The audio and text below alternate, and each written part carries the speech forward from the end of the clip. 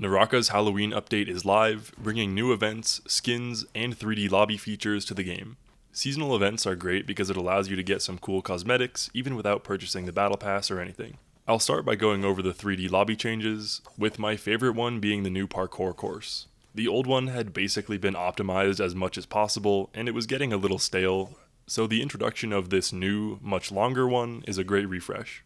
Not only is running the course a great way to practice your movement, but you actually get rewards from it too.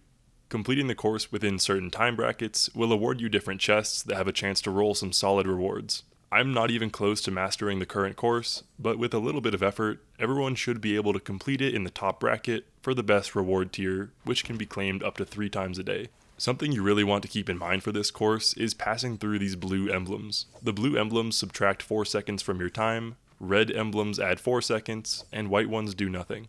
Here's a simple route you can take to hit some key blue emblems.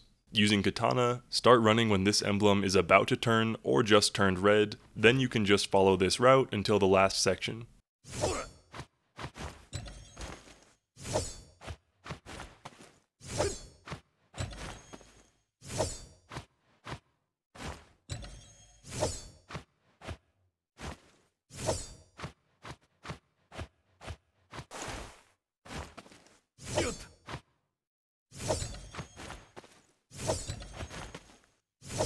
Once you reach this point, you should have more than 20 seconds to traverse the floating rocks however you feel comfortable. That's not all that's new in the 3D lobby. There's a whole lot of Halloween decor, but part of it actually relates to an event. Turning into one of these Halloween balls will allow you to knock into other players, each impact earning you a chance to get pumpkin candy. If we make our way to the event center, we can see a bunch of limited time events. The first one is Twilight Trickery, and that's where you'll be able to spend your pumpkin candy. Right now, there's more than 11 days remaining in the event, and with 20 candy available per day, you should be able to collect everything you want. If you ever wanted your Ziping to be a witch, now's your chance.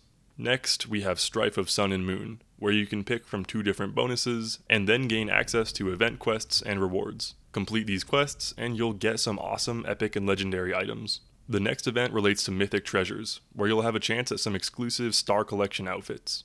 After that, we have the Autumn Sale, where you can obtain a bunch of discount vouchers without having to do quests or anything like that.